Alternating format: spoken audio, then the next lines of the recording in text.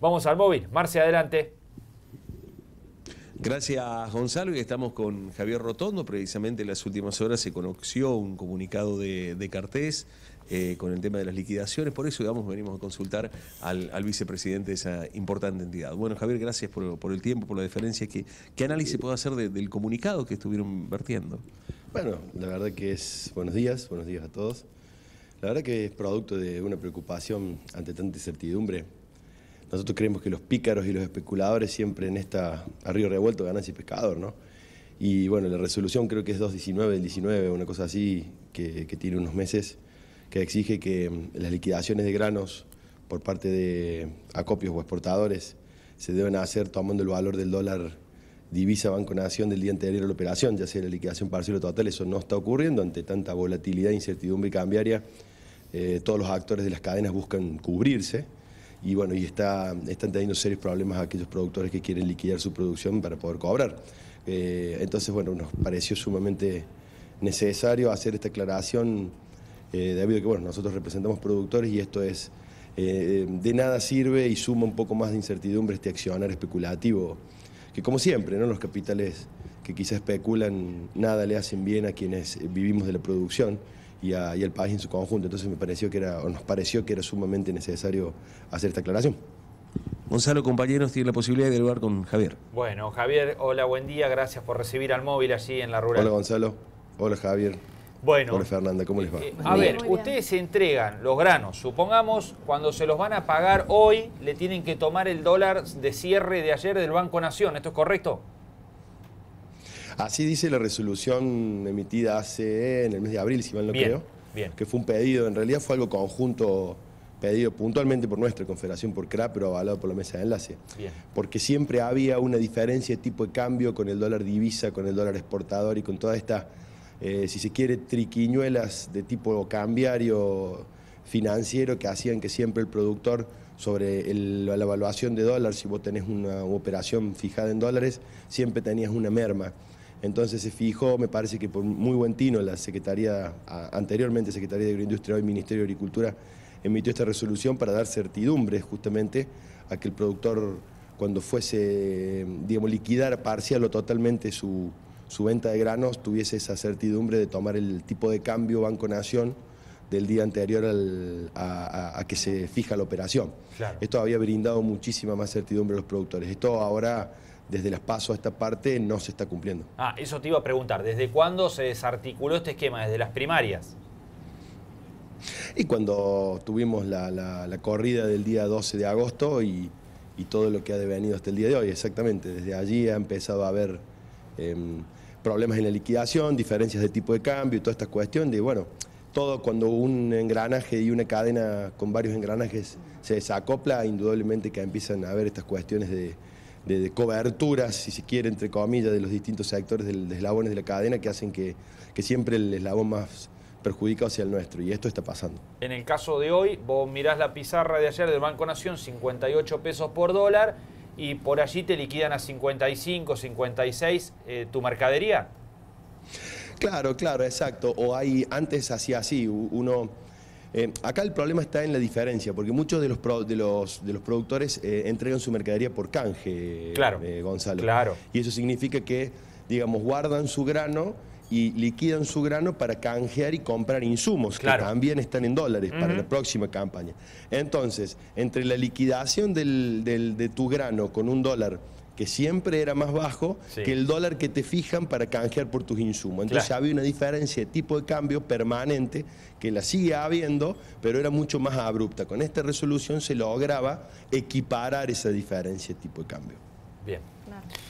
Eh, Javier, no olviden que todos nuestros insumos están dolarizados, ¿no? Entonces, el productor siempre, y esto es para derribar el mito de que los grandes beneficiados de la devaluación son los productores, indudablemente que el sector agrícola tiene un colchón de, con las devaluaciones porque nuestros commodities van al ritmo del dólar, pero nuestro, eh, la enorme producción agropecuaria, el tambo, la ganadería, tiene insumos que en su mayoría están dolarizados y eso es sumamente perjudicial.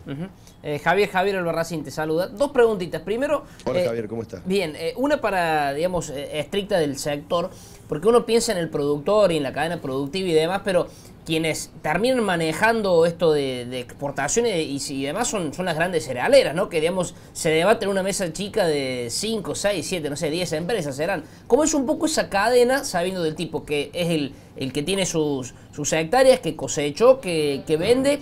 ¿Cómo se da ese, eh, eh, eh, esa cadena misma, ¿no? De productor al, gran cerealero, el que termina marcando la, la agenda internacional? Bueno, te la gráfico fácilmente.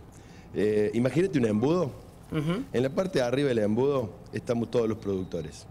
Y en la parte baja del embudo, antes del piquito, ¿viste? Bueno, ahí están las cinco exportadoras o seis. Es más gráfico que eso. Yo, productor, produzco mis granos y tengo básicamente dos o tres canales de comercialización.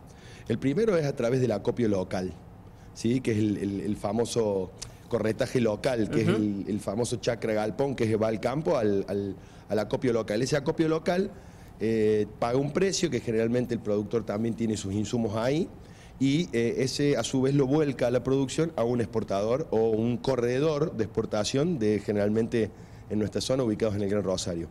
O el productor puede directamente vender su mercadería puesta en puerto al exportador del Gran Rosario. O sea, esos son los, esos son los canales de, que tiene el productor. Y después tiene herramientas, cubrirse con forwards o con sistemas de comercialización que te permiten poder, digamos, fijar un poco el valor de la producción cuando hay volatilidad y demás. Pero generalmente quienes liquidan, que esa es la otra, y está muy bien tu pregunta para aclararlo, que esa es la otra gran paradigma, el campo no liquida, el campo está reteniendo la mercadería. En realidad, eh, normalmente quienes ejercen su rol mayor en, esto de, de, los mercados, sobre todo de mercado de commodities como es maíz y soja, son los exportadores. Son los que se hacen de la mercadería y son los que que tienen, digamos, la capacidad para liquidar o no, para generar o no las divisas. En realidad el productor es un eslabón, te diría no preso, pero dependiente de la fijación y de la manipulación de la mercadería y del precio por parte de, de quienes hoy ejercen la mayor presión, que son las exportadoras. Eh, y después te quería preguntar, ya saliendo de este tema y más folclórica la pregunta, eh, ¿qué es lo que más te gusta de la rural, de la rural nuestra? Sacando tu, rol eh, directivo y ahora en cartel, sientes en la rural y bueno, de productor toda la vida, pero ¿qué es lo más, lo más lindo, lo más atractivo que tiene la rural, la muestra?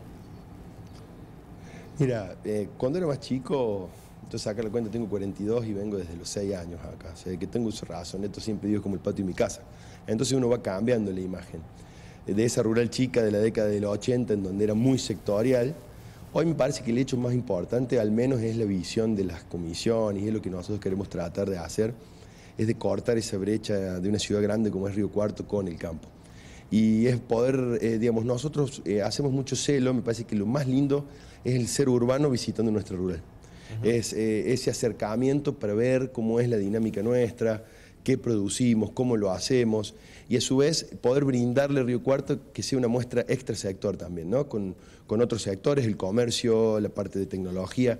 Me parece que eso hemos evolucionado mucho y hoy es lo que más me, gusta, porque nosotros tenemos una impronta que, que, la hemos tratado de llevar adelante con nuestros defectos y con nuestras virtudes, que es poder abrir un poco la cabeza extra sector.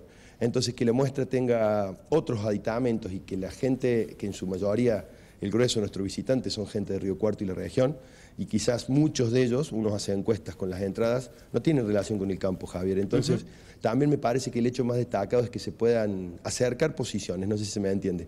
Me gusta que la gente que no tenga nada que ver con el sector pueda venir a ver, pueda intercambiar, y, y eso es muy importante porque me parece que es una tarea que el sector siempre tuvo como ajeno al resto de la sociedad o ese sector individualista.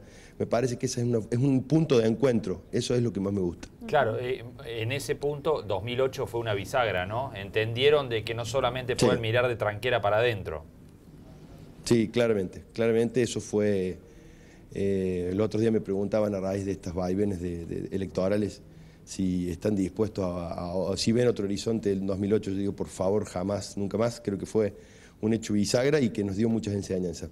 Y quizás los que tenemos hoy más o menos los 40 años, que en esa época teníamos 30, y que recién arrancábamos en la, en la parte gremial, nos dimos cuenta que la sociedad nos dio una lección muy grande a nosotros y un grado de responsabilidad a la hora de poder ensamblar un poco la lógica de nuestra actividad con el resto del, del común de la sociedad, porque Argentina es un país enormemente vasto y si vos andas por las rutas la impronta de la agroindustria y del sector nuestro en todos los pueblos del interior es muy grande. Entonces, salir de esa lógica que creo que es propia del ambiente. El productor está acostumbrado a trabajar solo en Sí, su claro. establecimiento, romper esa barrera y poder, digamos, articular con otros sectores. Eso para, por lo menos es un desvelo en lo personal y creo que en toda la conducción actual del rural.